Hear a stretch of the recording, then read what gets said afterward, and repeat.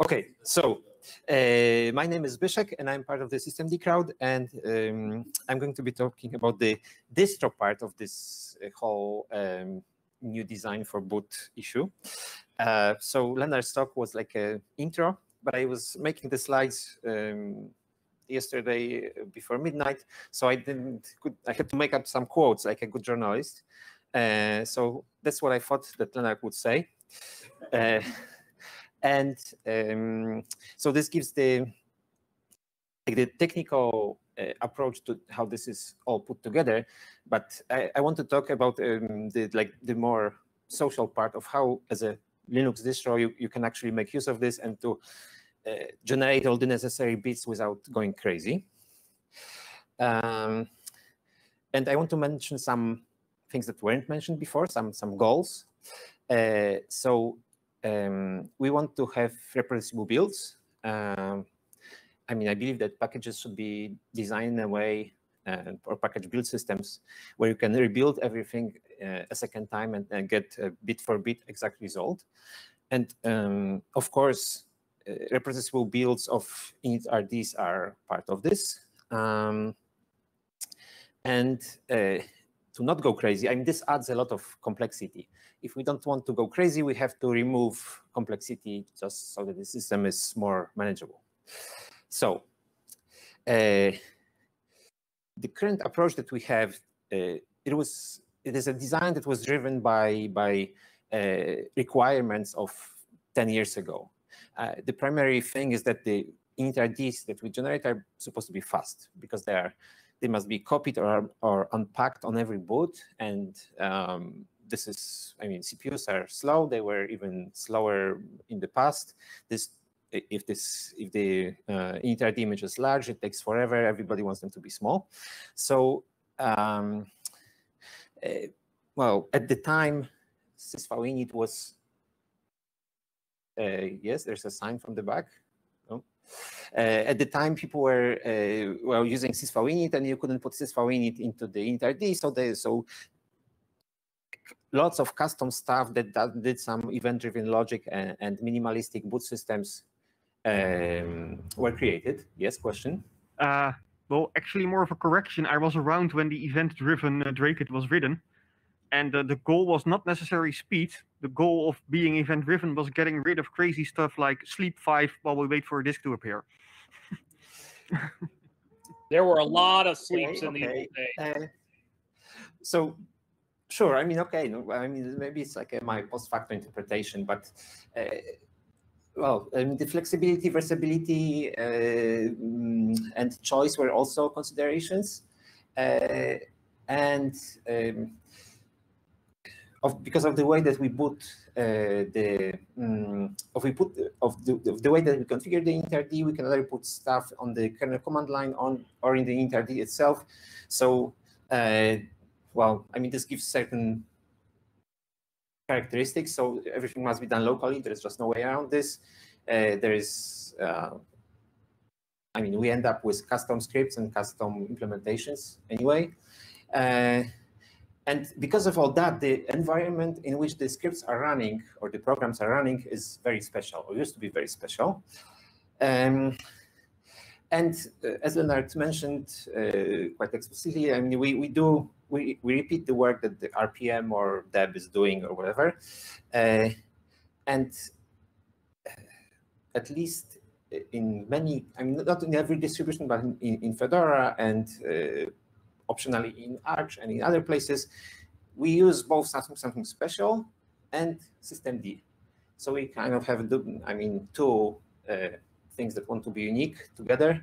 Uh, and all this, this complexity isn't really necessary anymore. We can just let systemd win. Uh, and uh, we spend a lot of time on every end user machine during every kernel update. And this is also painful because it's often the most noticeably slow part of, of an update. So the kernel does not care. Um, it is just a temporary file system instead of a file system backed by a device.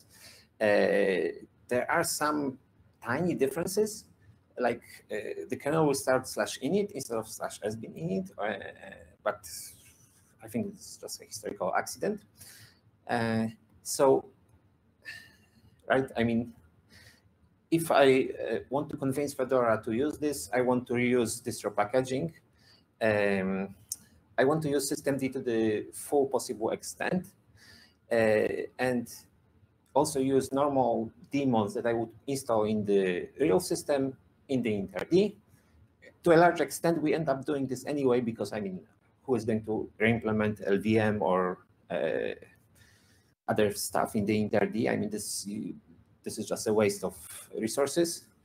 Um, and once systemd is doing the setup, the initrd looks almost the same as a normal system anyway, so there is no point to do something different. Uh, and we can just use normal things, and those things can expect a completely normal environment with slash proc and slash sys and everything being present. Um, the whole thing shouldn't explode in size, so uh, it, it, can be a bit bigger, uh, maybe two times bigger, three times bigger, but uh, not not crazy. Uh, and uh, yeah, it should be reproducible. Then we can build things centrally, save cycles, then we can sign them. Uh, and uh, we retain flexibility by building system extensions, and this can also be done centrally.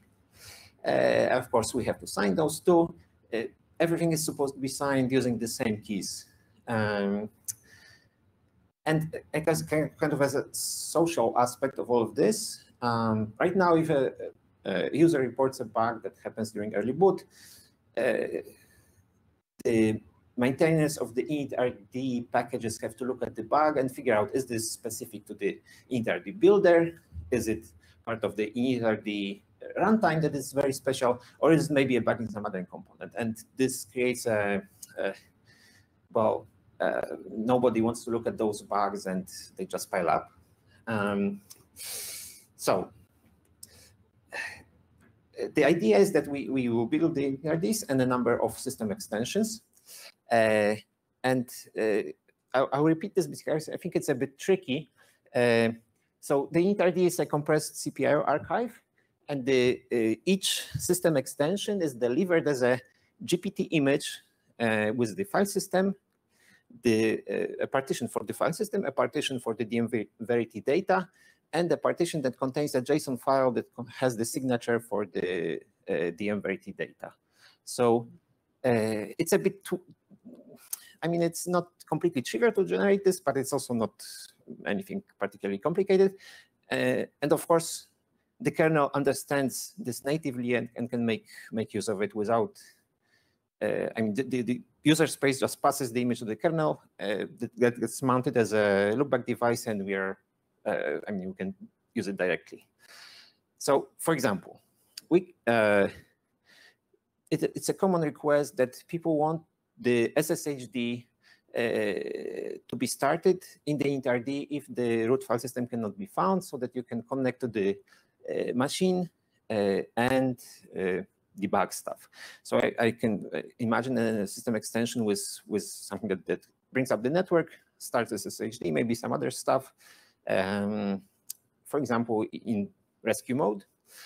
Uh, as mentioned by Lennart, I mean, all the non-standard uh, storage for the root file system would probably live in some extension. Um,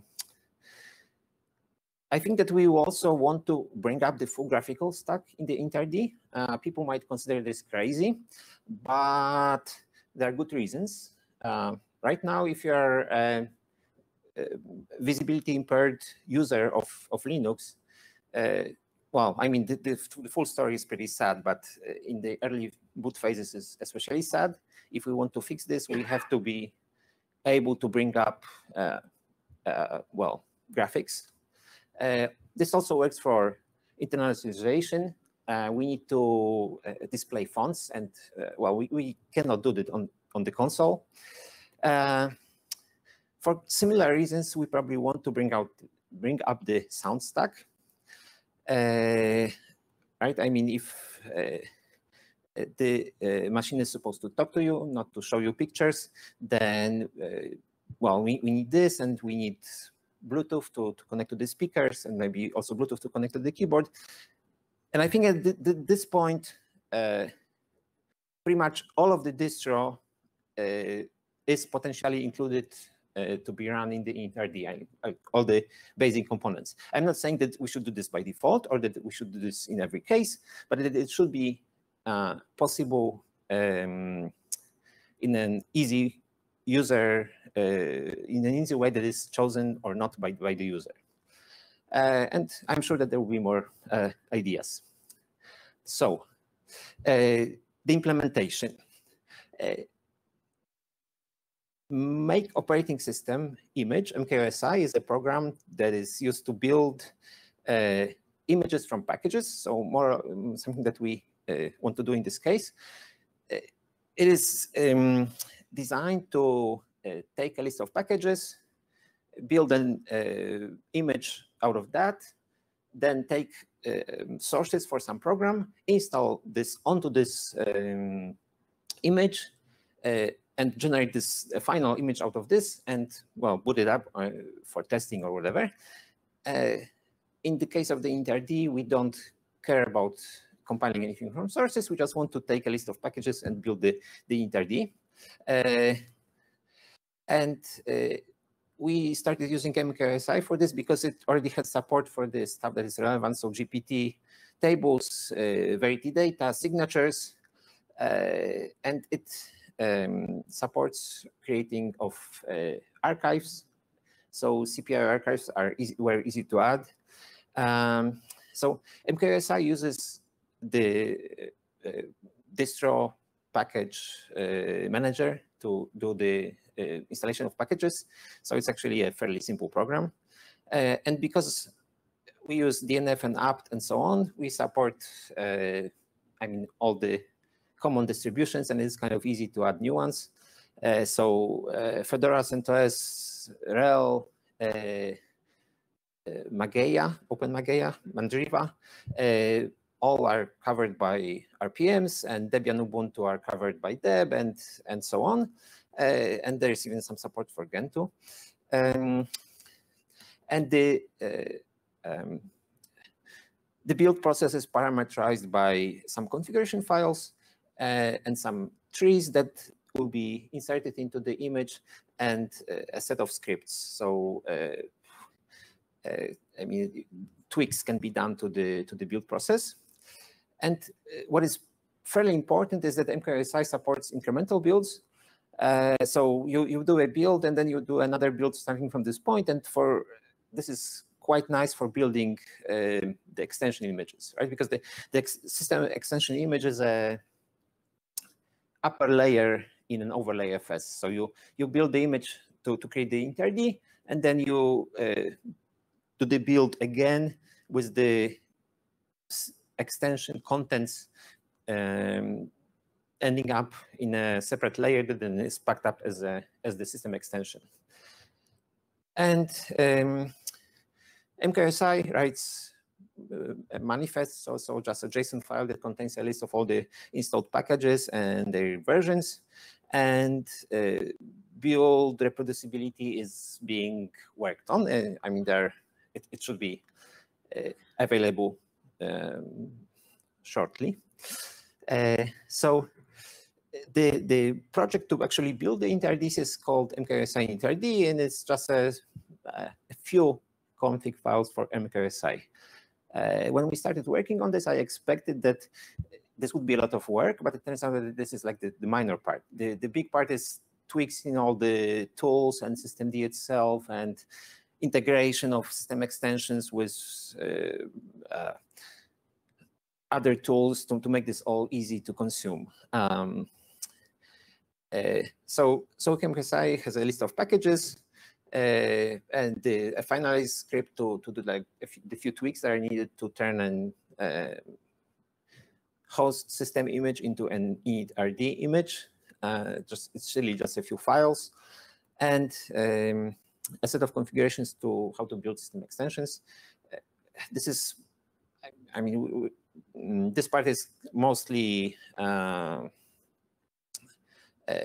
something that will happen in the future because we're still fighting with the uh, basic system. Uh, and of course, if you build this, right now we are not doing this centrally as, as it is planned in the future. We are building things locally. And it, um, it also means that uh, you want to the build to happen automatically when you install a new kernel, and we have some uh, integration uh, with the kernel install uh, kernel installer that is uh, invoked. So, so for example, if you install that in in Fedora, you basically will get a, a image built by MKOSI initRD on the machine after a kernel upgrade. Uh, so I guess it's even slower than the current approach, but in the future it might be faster. Uh, and and uh, we uh, the part that is missing, uh, well, I mean, the, the, the, technical implementation at the low level is there, but we are missing integration with the distro. Uh, so um, for system credentials. So uh, for example, um, there is a request in Fedora to be able to authenticate users uh, do, when the interd uh, tries to boot and cannot boot properly against real user um, uh, passwords. So uh, the idea is that we would take um, a list of, of users that, that are in the wheel group or have administration privileges, and we will create a system uh, credential that contains this uh, uh, the details how to authenticate, authenticate those users, encrypt it using the TPM so that it cannot be read uh, easily from the um, when the machine is offline. And then if the, if the boot goes wrong, then we can use this to securely allow administrator users to get into the initRD. Um, so, right, I mean, we need less things because things are just too complex. Uh, in this scheme, we, we let uh, RPM do the heavy lifting or, or deb or whatever. We don't duplicate packager work. Uh, and uh, we don't take files from the host, we take them directly from packages. Or every package has a, a, a signal, uh, contains hashes for the um, for all the files. So we know that the stuff that we are putting in the RD is what we expect. Uh, and then we can actually have uh, images that are reproducible when they're built. And what is even more important, they're, they're the same for everyone. Because right now, uh, well, a user reports an error, in the initRD, can we figure out what they are running? Kind of, right?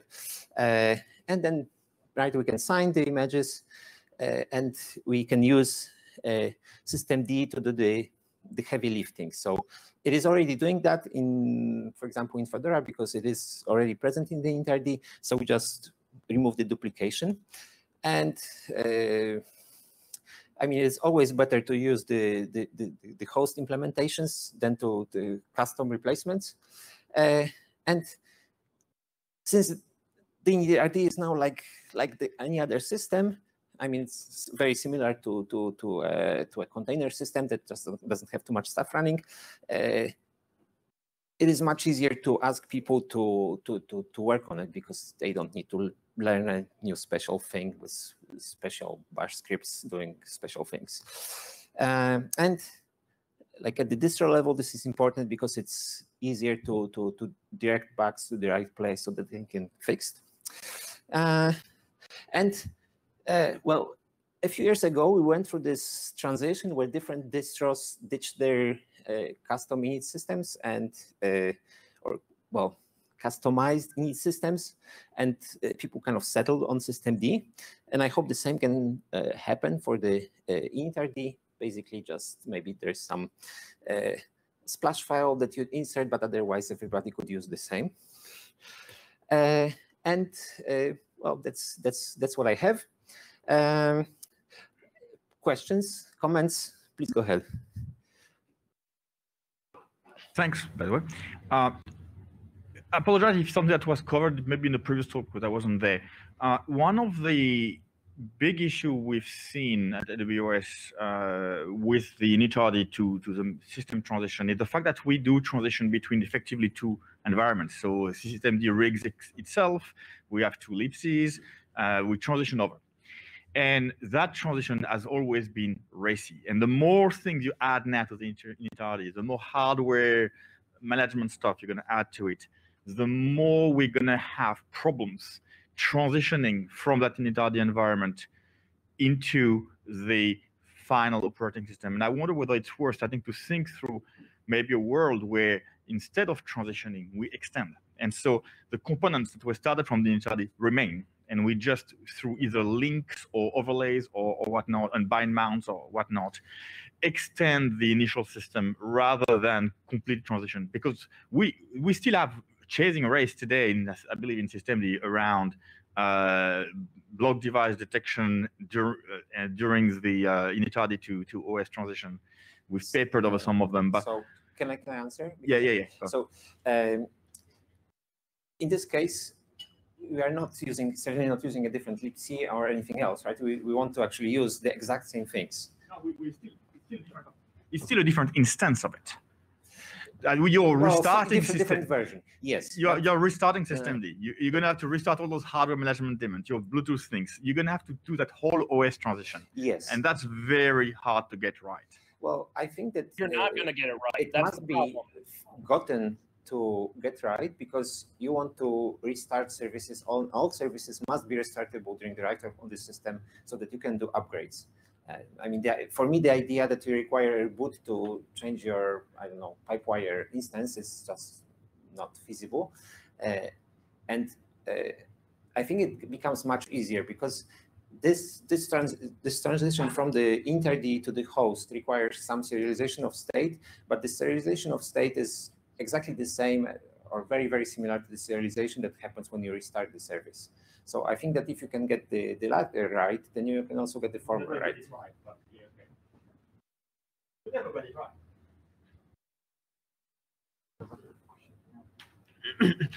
uh, so in a previous uh, slide, you mentioned Gentoo right? Uh, yes. Yeah, uh, actually, uh, coincidentally, there's a Gentoo developer in this room, and, and that's me. so I was a bit interested and curious about the use case you have in mind when um, mentioning Gentoo on that side. I see um, probably Gentoo doesn't belong in the same ballpark, uh, ballpark as in as the other binary distros. So, so the case for support for uh, Gentoo in, in MKOSI is because people also want to use it, right? I mean, want, to, want also want to do the same thing for for program testing and oh, stuff yeah, like that yeah. and image building. Yeah. For the initrd, I have no idea if this will be useful. Actually, uh, it might be possible to integrate portage uh, with the new initrd generation way because, uh, you know, portage could be used to um, build packages and install into an alternative route. And we could actually build stripped down versions of a package with uh, like a use flag, uh, like use equals to initrd and etc. So it might be actually possible to somehow integrate uh, this idea with the Gentoo approach and philosophy. I mean, yeah. we, we use Portage, right? We yeah, it might be interesting. So I guess it will be just a question of, of adding uh, support on the package side in Gentoo. Yeah, send us pull requests. We're happy to have them. I think it was you first. Oh, good. I'll use this one then. Uh, um, uh, just to be, coming back to your idea about uh, not doing a, a full reexec, but just adding in basically the root files and stuff. Um, this certainly can work, right? Like, but it can work in a in a in a scenario where people use, for example, Verity for the root file system anyway, right? Because uh, the initrd is basically immutable. I mean, it's it's actually not because it's a tmpfs, but it's it's it's the, the, what it, it is effectively immutable because it's uh, yeah. But I think uh, uh, in an environment where you have Verity, it definitely makes sense to just overlay this and then have basically just uh, put the main operating system in the initrd and then instead of uh, the initrd actually finding the real one and reexecing to it, it would just uh, basically merge a big extension into it. That's totally doable, but I wouldn't call that an initrd in this way. There is no initrd involved. It's basically just a, a, a, system that as a whole is embedded into the kernel and then happens to activate one massive uh, system extension, right?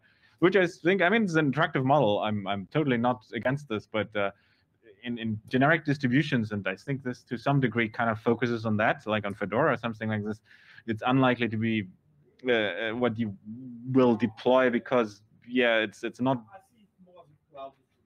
Yeah, but I, I, I like the idea. Like it's it's certainly something to to to think about. I mean, in, in systemd, it's, it's it's not entirely easy to do it like that because uh, in systemd, uh, uh, once you drop in a couple of services or something like that, um, you probably want to activate them, and uh, the way how you, you activate them is by starting a transaction. And so, uh, um, the, the the the model currently is that yeah, we at early boot we figure out what that transaction is, and then we stick to it. And uh, here you would have to issue a, at least a reload to systemd itself, not a reexec, but a reload, so that it uh, uh, then afterwards can like see the new units that appeared, come up with a new transaction, merge that with the old one.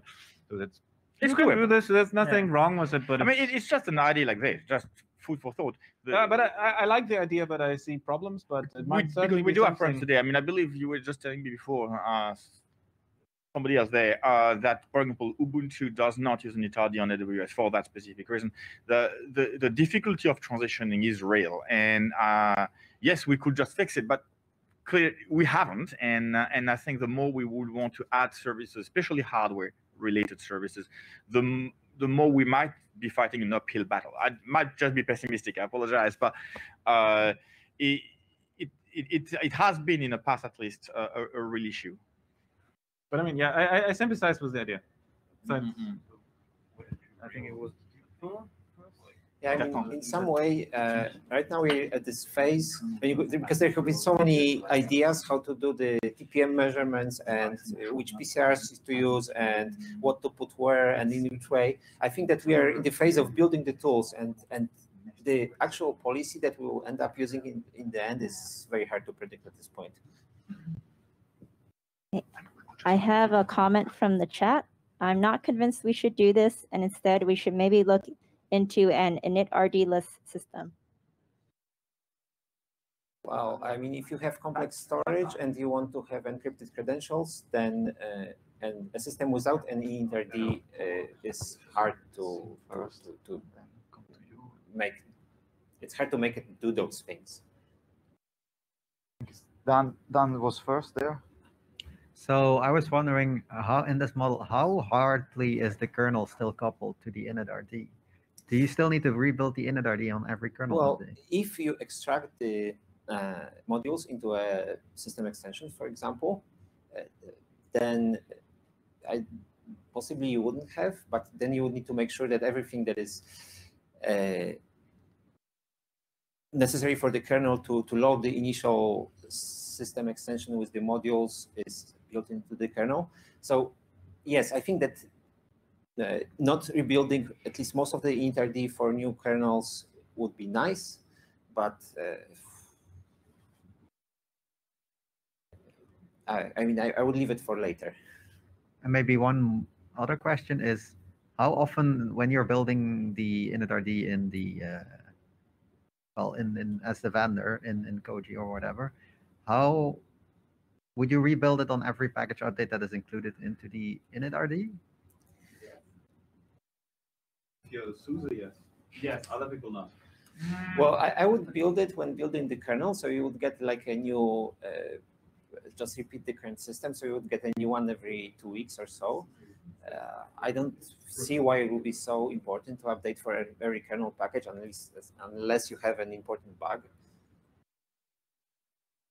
If I have uh, one more question regarding this uh, systemd reload from the initRD. Uh, what are the issues with that? If you were to say like, okay, you start the systemd in the initRD and then mount your real root possibly into user and then do system systemd daemon reload, what would be the problem with that, with keeping the system systemd in the initRD instead of I think that re-execing the, it? The initial uh, point wasn't about systemd itself, but about, for example, some daemon to manage uh, RAID or something that it needs to seamlessly transition to, to a different copy and the- Yeah. the state must be propagated. Oh, And especially if it's something about networking, for example, then it can be a lot of state, right? That you- So so basically, I And mean, just to respond to you as well, systemd does still have races and doesn't get that right in a number of cases. Unfortunately, I mean, we're trying to fix them, but yeah, it's it's yeah, but really hard, really really hard one to find and to, to solve. Like it's really not trivial. So because you have um, all those kernel events coming at the same time during the transition, and yeah. So doing just the daemon reload is much like I mean, it's really supposed to really just work and not create issues in contrast to the reexec, uh, like the the switch root thing.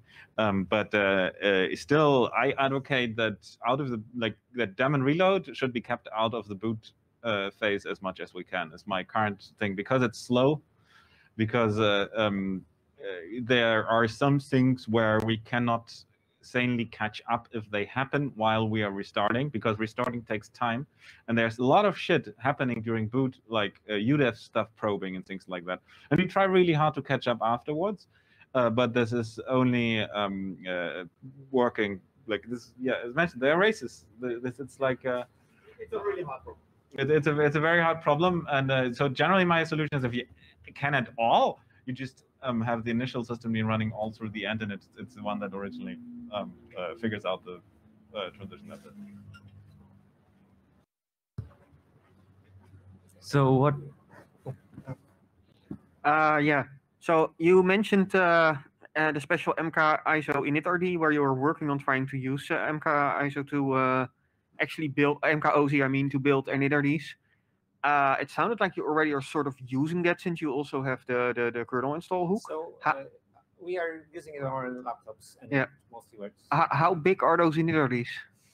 Uh, so they're bigger because the kernel in Fedora has all the well, not it has there are kernel modules, kernel modules extra, and kernel modules something something. And um, I just take the first package and extract all the modules from that and put it in the RD. And this is about half of the initrd because I don't want to bother with selecting the specific. And but if we ignore this question, it's uh, twenty percent larger than the drop. And I would guess you also get a lot of Linux firmware there because You need Linux firmware if you want to bring up the GPU.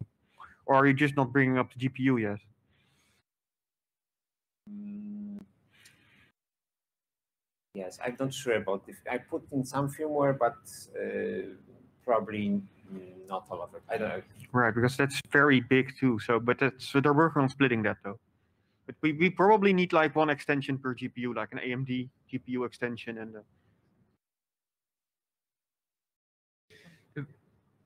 Christian, go ahead. Uh, so how far away are we from a distro actually switching to this at some point?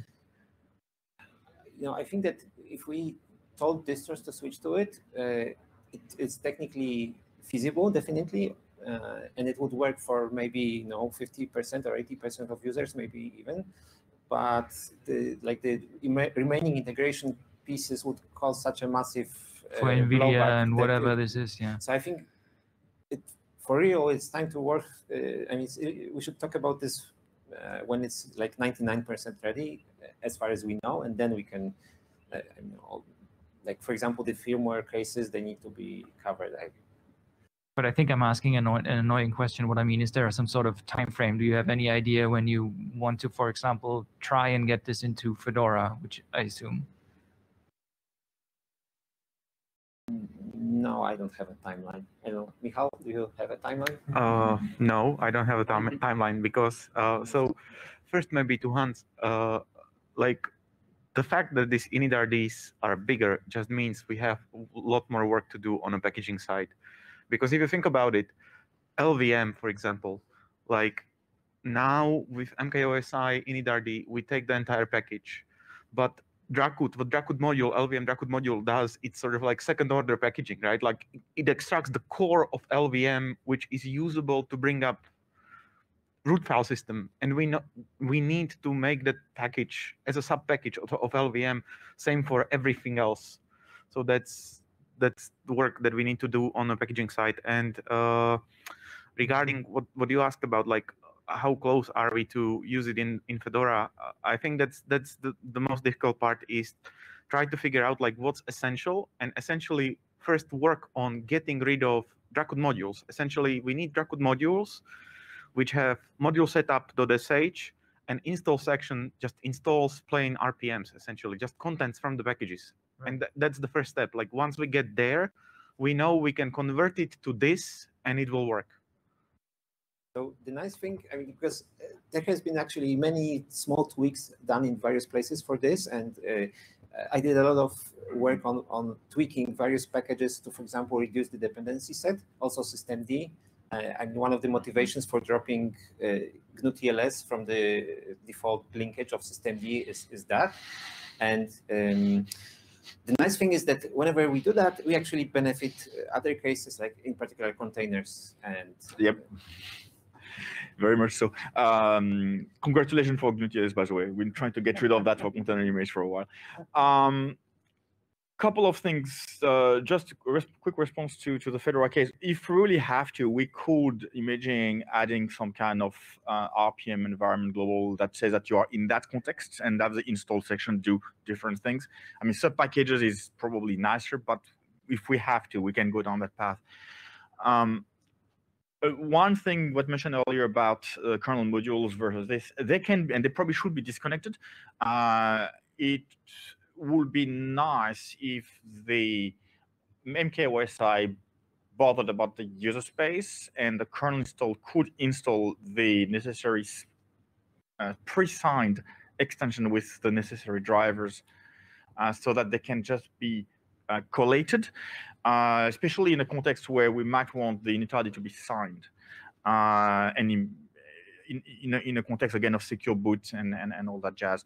Um, food for thought. So, uh, so quick, quick partial answer. Uh, to a large extent, this is already possible because we already collect system extensions from per kernel uh, version uh, location and a global location. So mm -hmm. the idea so far was that this is this can be used for, for, for example, for credentials which are applicable to and kernel independent, but we can mm possibly move most of the initrd if it's like a separate thing into this layer. And uh, again, I missed the previous talk. I will watch it later, but I don't know if the system can just be appended physically to initrd. That way they get loaded by the firmware, which solve the problem of requiring the drivers to load the system extension. And then they get separate signatures. They can be separately verified. I don't know. Food for thought, the kind of thing we can look into. Um, because we really want to get to a world where the initrd is signed. Uh, and we do not want private keys, even in a TPM, to exist on individual, especially in the cloud, on individual instances. So we want things signed on our build systems and immutable from there on. Um, just put thoughts I've been having. Yes, so so so we see the the signature living in a uh, for, for the initrd, at least in the unified uh, kernel image approach, the initrd and the, the kernel are together and have a signature. Yeah. And uh, for system extensions, the signature is also embedded and it's all verified by the kernel. I, am not sure if this answers the. I, will have to watch the talk. Uh... Any other question, comments? Anything on the chat? Well, time's up. So.